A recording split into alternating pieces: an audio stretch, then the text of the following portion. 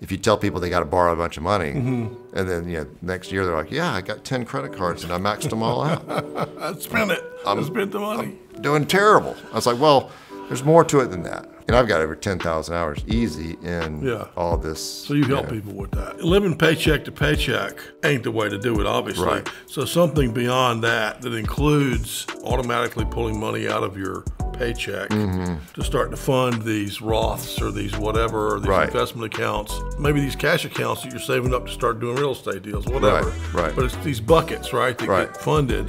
And at some point, you've got enough of those going on, you don't need the income, the salary Yes. anymore. So that's that's my version of it. It's Mm-hmm. a little quicker, but you probably probably have more details, I would think. Yeah, and I think you know everybody's a little different, and uh, that would work for a lot of them for sure.